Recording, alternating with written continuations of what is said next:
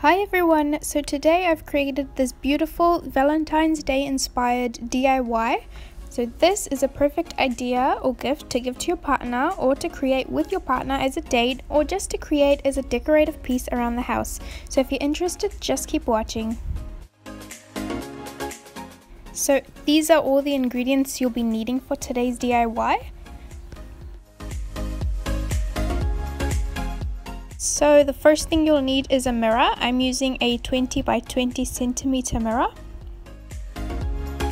You will also need a hot glue gun as well as some extra hot glues and a pack of popsicle sticks. I'm using a 200 pack. Second to last thing you'll need is a pack of hard rose petals and these come in all different colors as well.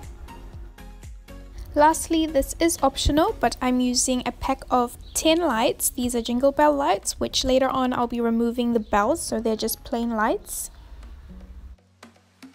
So the first step is to turn your mirror over and what I'm going to do is grab each individual popsicle stick and I'm just hot gluing the end centimeter of it with hot glue and I'm placing that right down onto the mirror, holding it in its place for a little bit and then continuing on with the next stick.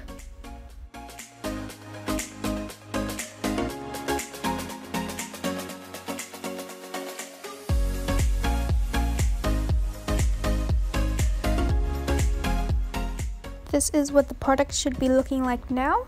Our next step is to fill in the little edges. So what I'm going to do there is grab the popsicle stick, do the same thing where I hot glue just the end centimeter of it and I place it onto the sticks that's already been glued on just so it creates a somewhat even square.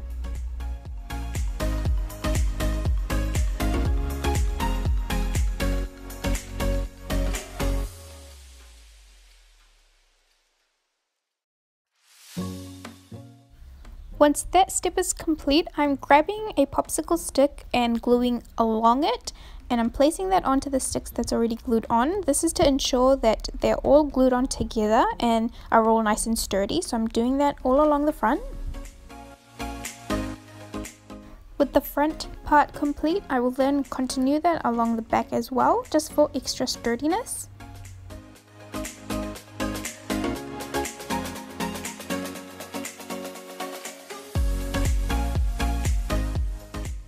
Here I am now removing the jingle bells of the lights.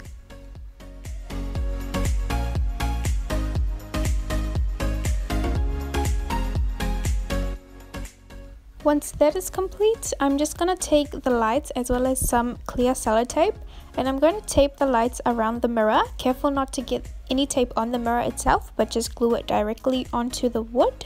You don't want to use hot glue in this scenario just because the lights are very fragile and you want to keep them in perfect condition. Once the light step is complete, you will now take your rose petals and you'll grab each individual one, hot gluing the ends of it and just placing that onto the wood base that we created. And because each rose petal is different in shape and in size, you want to just make sure that you Place the most sturdiest end of the rose petal onto the wood base and being very very careful not to get any hot glue on the lights that we placed around the mirror.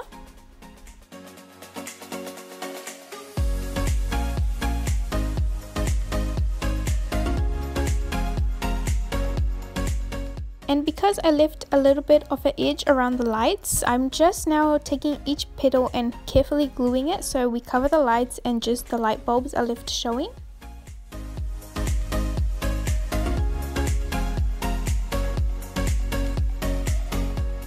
Once that is complete, I'm just removing any hot glue strands that have been stuck onto the petals.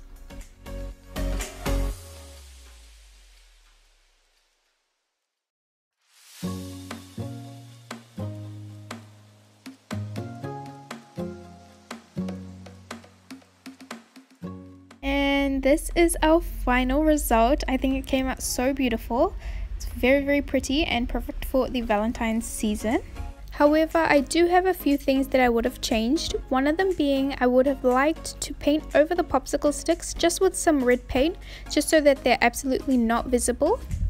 And the other thing that I would have liked to change is use another light pack, one with a smaller battery pack, just as it was really big and I won't be able to hang this item up on the wall, but it will make a creative beautiful piece just to lean up against a bedside table or a vanity but this is how it looks in the dark. I think it looks absolutely beautiful and sets the mood. It's very romantic as well.